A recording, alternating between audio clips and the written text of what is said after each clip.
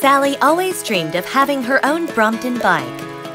Brown took Sally to Brompton factory, and finally Sally has a bike which looks just like her. New York, Tokyo, Seoul, Shanghai, Hong Kong, and Taipei. That's how Sally's spectacular, brilliant journey began together with Brompton. Sally's Special Edition is the best body for Sally to travel around the world with. Presented for the first time in Brompton history, this color combination is so delightful and robust. Exclusively made accessories are very delicate. Here it is, all set and ready for you. Meet Sally's special edition built by Brompton and Line Friends.